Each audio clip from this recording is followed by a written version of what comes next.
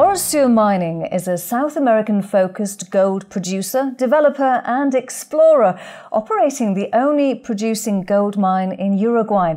It's released its full year results for the year ended May the 31st, 2015. Ignacio Salazar is the chief executive. He joins us now. Now, Ignacio, uh, cash operating costs and gold production in line with guidance but key is the forward looking nature of this statement. You're actually revising your production target down by almost a third.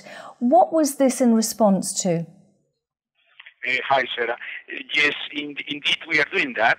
Um, in the last uh, few weeks, the last couple of months, the uh, gold price um, hit levels below our all all-in sustaining cost uh, guidance. We had an all-in sustaining cost guidance for the year of uh, 1,100 to 1,200. That we, we've seen gold prices below that, and the perception in the market that they could even go lower. They they could stay at that level, could go higher, but they could perhaps even go lower. So we have uh, taken a proactive approach, decided to take action straight, straight away and as quickly as possible to preserve uh, cash and concentrate the effort uh, in Uruguay around um, around cash generating ounces. I mean, we have the flexibility in San Gregorio to do that.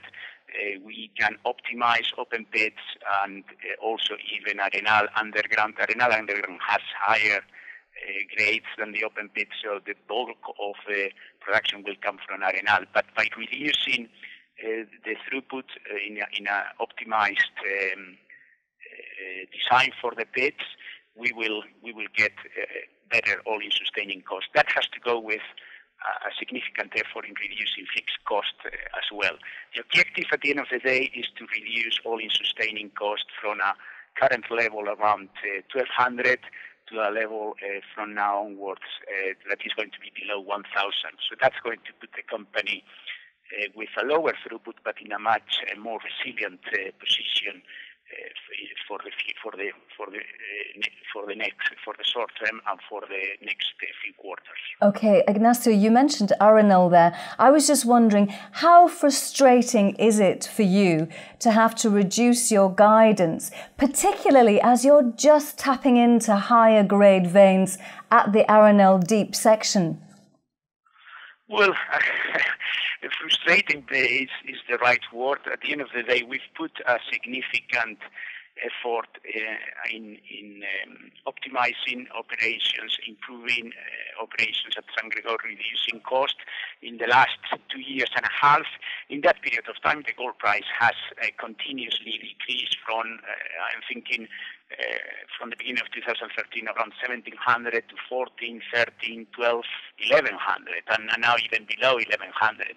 And we are now working on the basis of a scenario that could go at 1000 or, or even below that. So, of course, it's, it's frustrating, it's in the nature of the business. On the other side, we know it's a cyclical business, and I think um, frustration aside, from our point of view, what uh, really what we need to do is uh, uh, assume the situation as, as, it is, take it uh, as it is, and react and, and move as fast uh, as we can. I think that is what will make make the difference.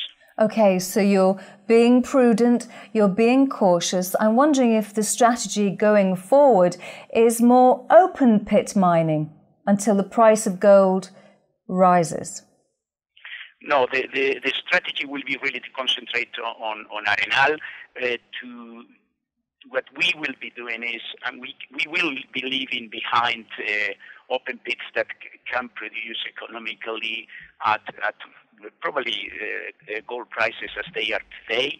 So if the gold price will pick up a bit more, um, we or, or, quite a bit more, we can always come back to those open pits. But the idea will be to move uh, and concentrate the effort on the on the underground uh, arenal um, project. We we need to in this process need to take uh, quite a bit of the fixed cost uh, away. So we need to take quite a decisive move. It's not something that you can take it uh, incrementally. It's, it's, something that you have to to do uh, to do properly to get the, the, right effect at the end of the day, which is to get all-in sustaining costs below 1,000. Okay, so that's that is the focus for the, the, the, coming 12 months, if not further beyond. But we are talking about the last 12 months. What was the highlight for you? What did you feel as though you achieved?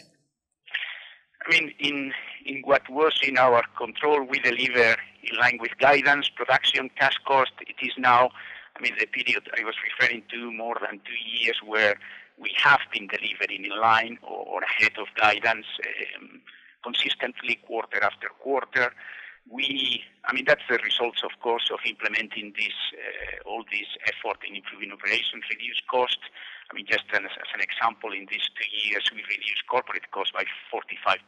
You know? So it's not simply an effort that has gone into the operations um, that has gone across the, the full company. Debt uh, has been uh, also reduced. If I go back to two years again, it was at the level of 9 million uh, one year ago, and in this year was from 5 million. We are right now uh, around 1.5 million dollars in debt outstanding. We have renegotiated with Codelco and get external funding to, to make progress in our exploration project in Anillo.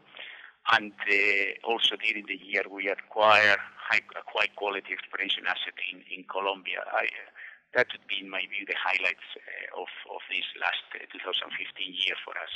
Okay, well, Orosur Mining isn't just about Uruguay. You do have prospects elsewhere. Uh, briefly and finally, what of those other projects that Orosur is involved with? Well, the key one at this moment in time is, is Anillo because uh, we re- reached this deal with Asset Chile.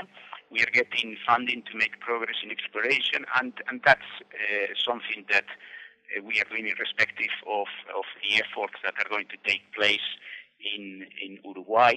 The, um, uh, the first tranche of, of uh, in the project was received uh, during June $850,000. Geophysics are ongoing currently, and we are planning to, drilling there at Anillo around uh, November, December this year. So we look forward to the results of the drilling uh, program there. Anillo is, is key, and, and the, the, the deal with uh, asset meant that uh, we, were, we are looking to get a discovery and being close to El Peñón, looking for a similar sort of asset. We know that a discovery of, of that high quality exploration asset will will be will be money in the bank at the end of the day. And SAR remains high priority. I mean, we don't have uh, external funding. We are concentrating in Uruguay and in, Anillo, where the money is provided by by the Asset Chile Bank. Uh, but still, we are looking at different opportunities in Colombia to advance the project without uh, compromising the cash from our operations in Uruguay. And we look forward to hearing further updates about those opportunities. Ignacio Salazar, Chief Executive of Orosur Mining, thank you very much indeed for joining us. Thanks for your time and your, your interest in, in Orosur, Sarah.